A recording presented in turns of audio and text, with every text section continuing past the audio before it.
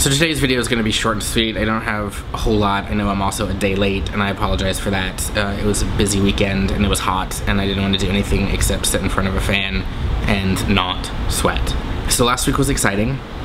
Scotland had a huge vote whether or not to leave the United Kingdom. Something like, I don't know how many millions of um, Scots voted, but upwards of 90% voter turnout for this one referendum. And uh, they ultimately decided to stay part of the United Kingdom, and I think there are several reasons for that. Keeping the pound as their national currency, I think there's also other economic benefits um, to staying inside the United Kingdom.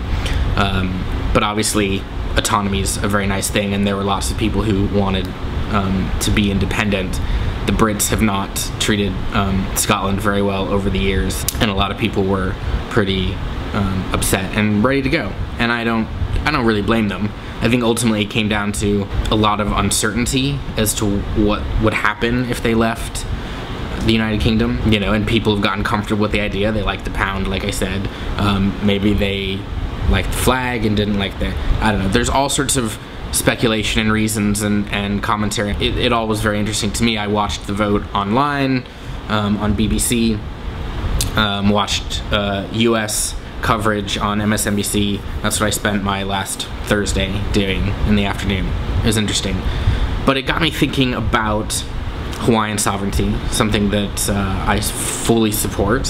How Hawaiians here might take steps legally to secede from the United States and, and get the kingdom back that was stolen from them by a bunch of rich Americans and the United States government, United States military. Obviously, I think it would be a lot harder than a simple referendum vote, um, and I, frankly, I'm not even sure how that vote would go if it were to be held. But it's something that I thought about while watching the process uh, unfold in Scotland. Also, some other exciting stuff. Um, on Friday night, this past Friday, I attended the third annual Labor Fest, um, at uh, the Arts at Mark's Garage. There was maybe 70, 50, 75 people who participated. It was a forum on how we can support union membership, support working people, um, not just on labor issues and economic issues, but on all sorts of social justice and economic justice issues that, that run the gamut.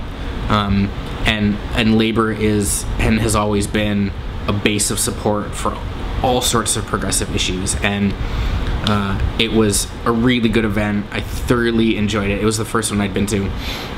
And I'm now actually contemplating joining their um, board of directors, um, you know, to help plan the next event and make it bigger and better and, and, you know, learn about labor history in Hawaii and that sort of thing. On Saturday uh, afternoon, I attended a meet and greet with the, uh, let me see if I can get this right, uh, Hawaiian uh, Hawaii Alliance of uh, no what is it? It's HAPA, the uh, Hawaii Alliance of Progressive Association. I, I am blanking on the name of it now, but HAPA um, started by a good friend of mine, Gary Hooser.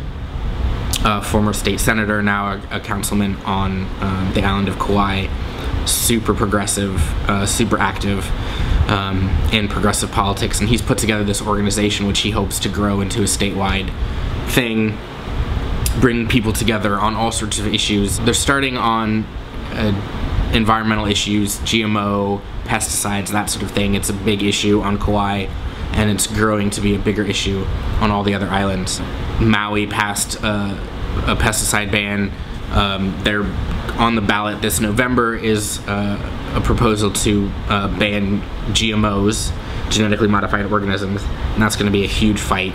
They're already starting to blast commercials out. But as he grows the organization and, and builds members and builds participation, uh, they'll take up more uh, issues, other issues, and not just the GMO, anti-pesticide, anti-big um, ag. Great organization, just a fantastic board of people. Um, I encourage you to check them out. Other than that, there's not a whole lot.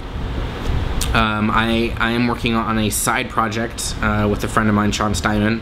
Hopefully that video will be posted within the next week or so, and that will be an ongoing uh, project, but I'll wait to give you details after that or right before that video is posted. Um, so as usual, thanks for watching. Please um, share with your friends, subscribe, comment, and keep watching. And we'll see you next time. Bye.